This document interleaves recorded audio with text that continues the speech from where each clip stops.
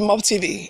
This is about Lagos State, and there is no story that Lagos State houses about 17 million plus people. it's the smallest state. Um, I think with the smallest, yes, it's the smallest state invariably in Nigeria, and um, and is densely populated because it's become the hub of business, entertainment, whatever you think, business like hub of everything. Everybody in Lagos is serious going to nowhere a lot of people. And the ones that are serious going to somewhere their life is more like a hustle. They wake 3 a.m at times. They wake by 3 a.m to come back by 11 p.m what a life.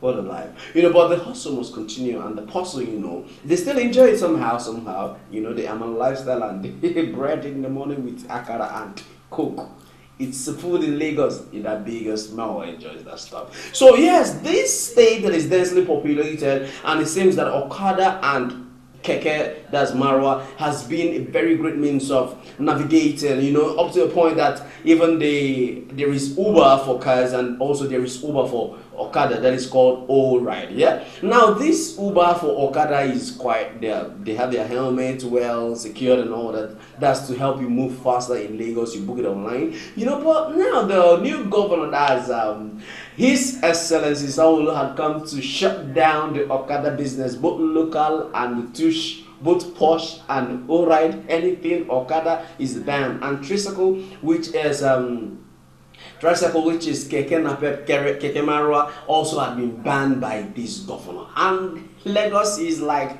mad oh. I don't know who thought to me that. Like everything is so so like on fire in the sense that people are now trekking from one.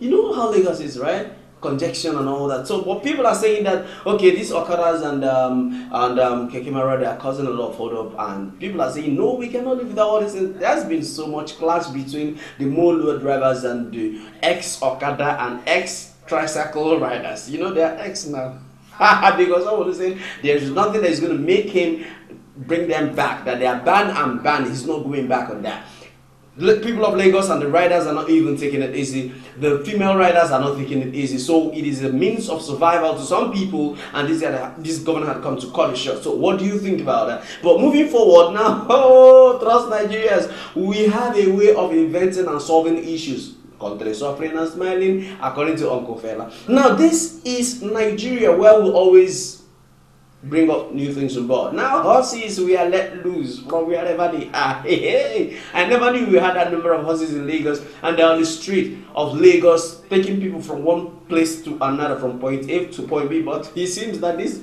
these horses they are too they are these horses are but one actually fainted. Hey. You know, watching all this movie, you see a horse could travel like four hours, three hours. They're going from one kingdom to another.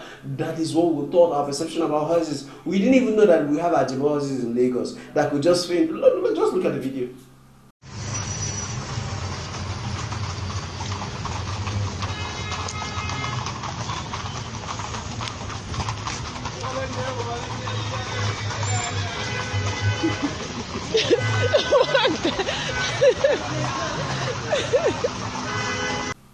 Now the horse has been, been dragged from the ear to stand up and move.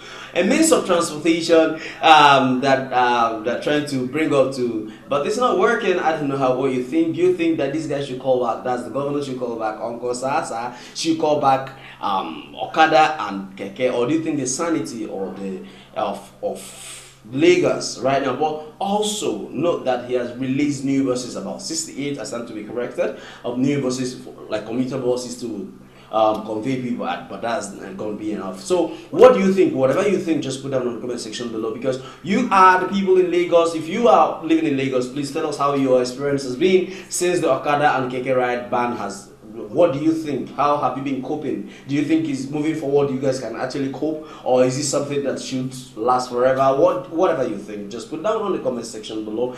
And uh, my name is Donald, and this is Mob TV. Look at yourself. Bye for now. Lord, have mercy on me. Mob TV.